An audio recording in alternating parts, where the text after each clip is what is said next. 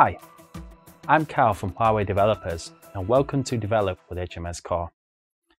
Today, I'm going to show you how to integrate Huawei Ads Kit into your app. Huawei Ads Kit includes a traffic monetization and advertising identifiers. So, let's now talk about how to obtain the Open Advertising Identifier into your app. The OAID is a non-permanent device identifier enabling you to provide personalized ADS for users while protecting their privacy. It also facilitates your cooperation with third-party tracking platforms to use OAIDs for conversion attribution. Let's get started. First, open Android Studio, select Empty Activity, give your app an app package name, and click Finish to create an Android project. Open the build Gradle file in the Gradle directory and add the Huawei Maven repository.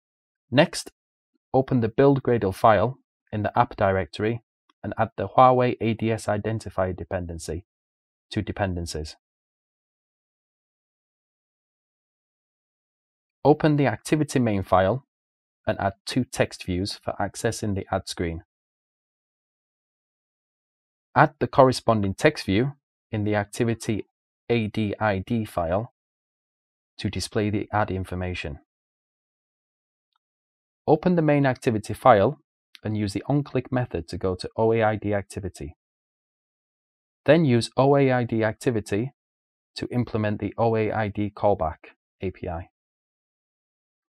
Click on Create to initialize related components, create a Get Identifier thread, and start the thread. Next, use OAID SDK util in the thread to obtain the OAID. Call the onSuccess method to receive the obtained OAID and use update ad ID info to update it to the ad information.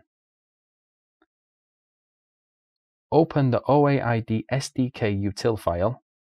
Use advertising ID clients in the getOAID method to obtain Huawei ad information and execute related callback functions. And there you go.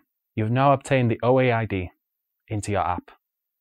Let's launch the demo app to try it out. Launch the installed app and tap OAID sample. This will display the ad information screen, allowing you to view the ad information. And that's it. We have now successfully obtained the OAID into your app. Capability development in the traffic monetization is coming soon. If you have any questions, you can leave them in the comment section below or visit the Huawei developers website and be sure to hit the subscribe button. Thanks for watching.